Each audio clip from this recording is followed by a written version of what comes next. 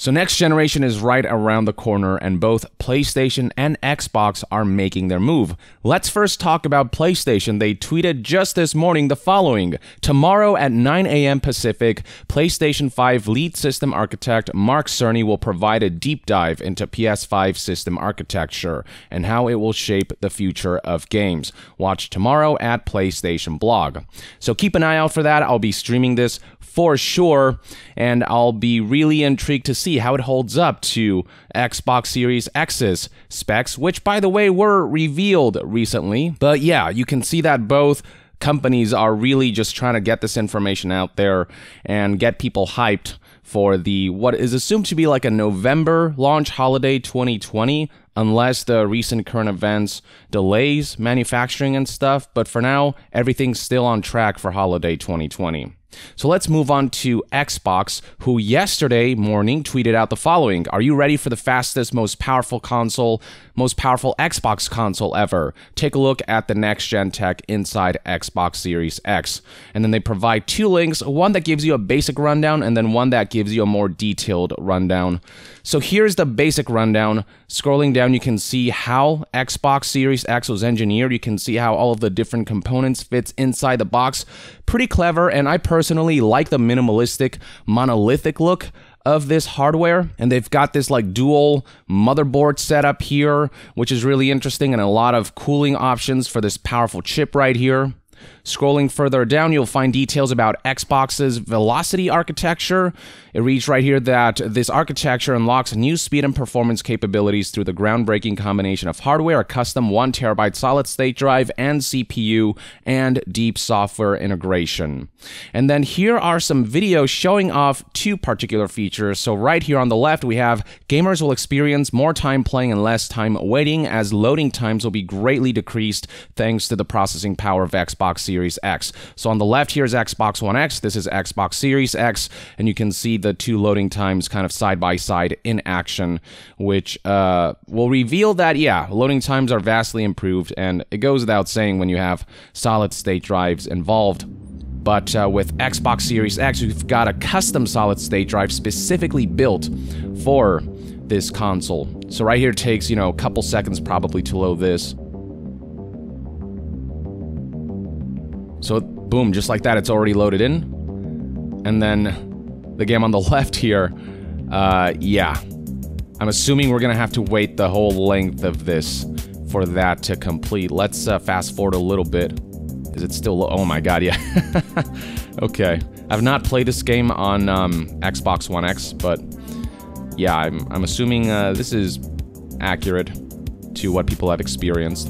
So yeah, pretty self-explanatory. And then on the right here, a new feature powered by the technical capabilities and the innovative Xbox Velocity architecture and Xbox Series X. Quick Resume enables players to seamlessly switch between multiple titles and resumes instantly from where you last left off. So the power of Xbox Series X allows this console to suspend multiple titles and kind of keep them at bay in the background so that when players want to switch between these games, they can do so on the fly. And an example of that can be seen right here. And this is definitely a very cool feature. You know, I, I switch around between playing multiple games a lot, and to be able to just like kind of flip back and forth so seamlessly is, I think, a really cool feature. So here's Forza, right? The dude's playing for a bit. He pauses, goes to another game that he had previously booted up. So this is Ori and the Blind Forest and it takes a couple seconds, but it does eventually get there. I believe this is up to, they haven't specified how many games can be booted up at the same time, how many games can be suspended at the same time. But uh, we see this guy do this across like five games or so, so maybe that's the maximum. Either way, pretty impressive and pretty convenient stuff. Then scrolling down, we have some specs 12 teraflops of power, true 4K and 8K ready.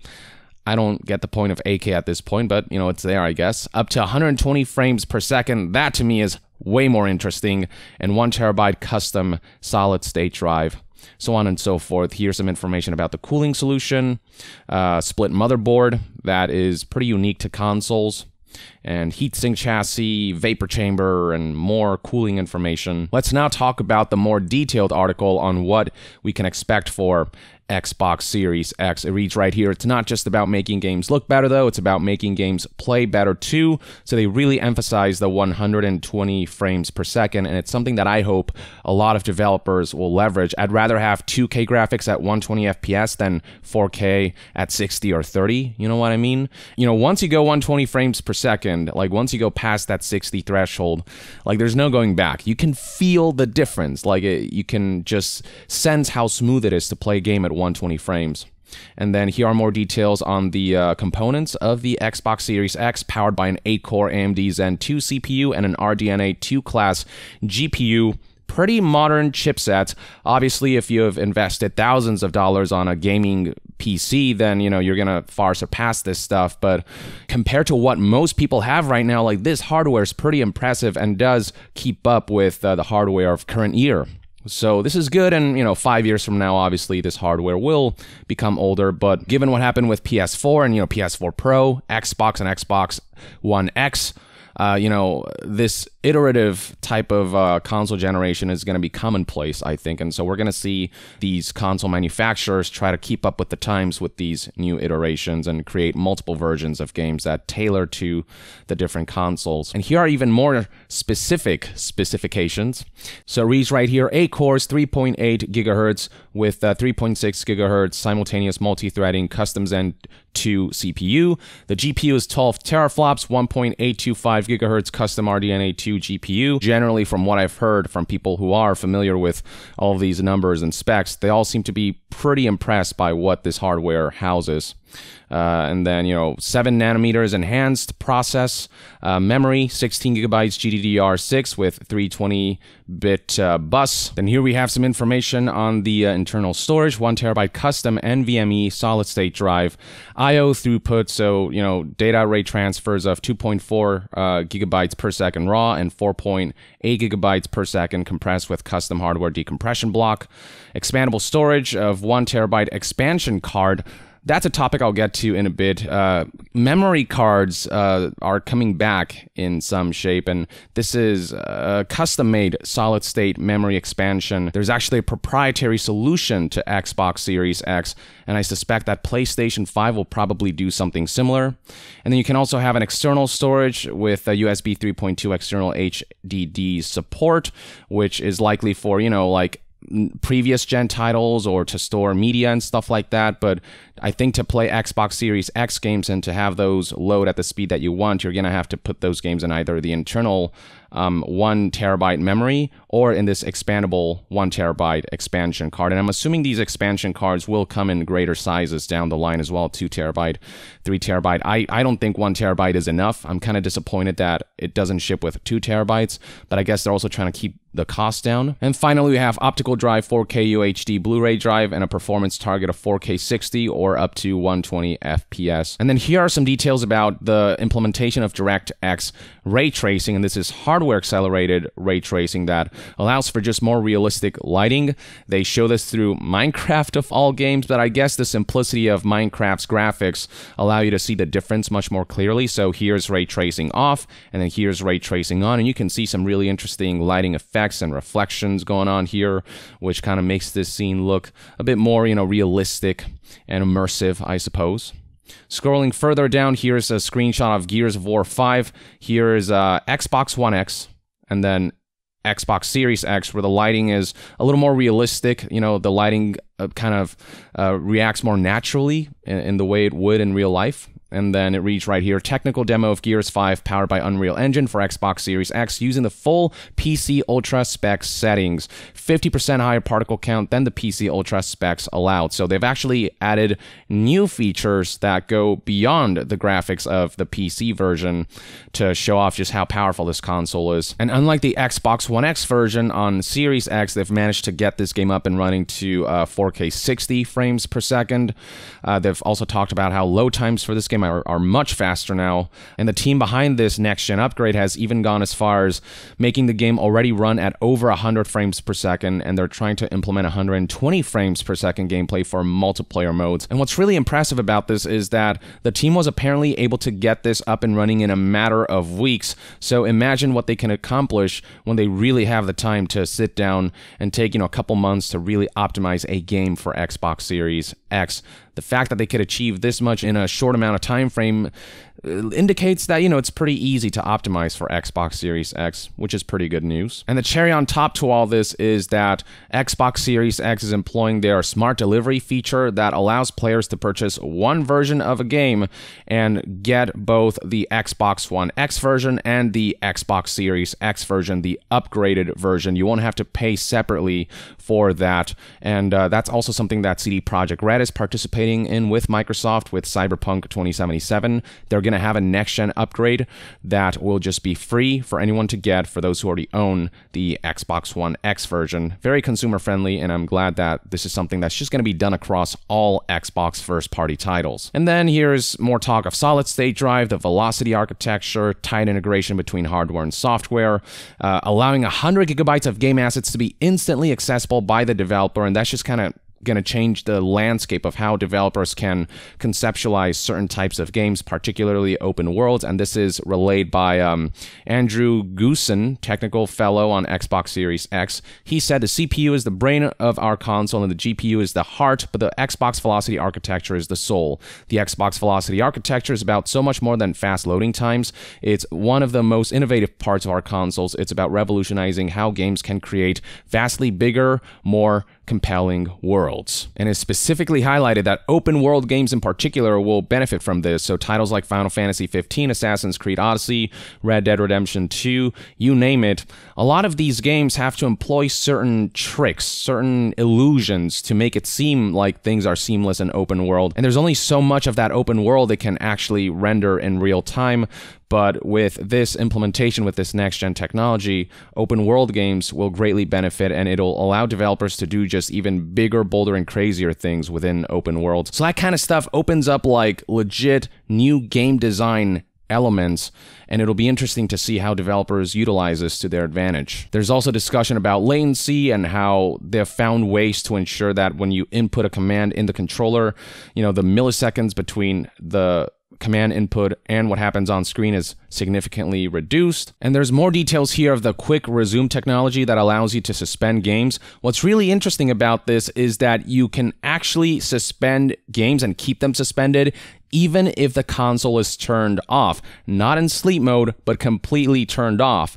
It reads right here since game states will be stored directly in the system's solid state drive, they'll even persist after you turn off the console, unplug it entirely, or even take a system update. One of the testers on the team unplugged his console for a week, then took an update, and was still able to continue right where he left off without so much as a loading screen.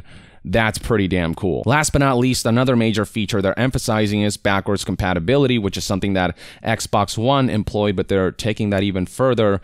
They say right here thousands of games on Xbox One, including Xbox 360 and original Xbox games, will play even better on Xbox Series X. So it's not just like they're just emulating the old versions of the games and that's that. They're actually enhancing these old versions of games so they load faster, look better. It reads right here. Players will see the benefits of the improved hardware of Xbox Series X for backwards compatible games, including improved boot and load times, more stable frame rates, higher resolutions, and improved image quality. So as far as this in-depth article goes, those are the details that were conveyed. To finish finish things off, here's a video from Austin Evans who got an exclusive sort of hands-on uh, experience with Xbox Series X with the Microsoft team, and he showed off a couple things. So first of all, here is another example of what Minecraft looks like with um, ray tracing turned off versus on. So right here is turned off and then you will see that when he turns it on there's a big difference of the lighting reacting and the way it interacts with like this glass material and you can see the reflections on the ground here with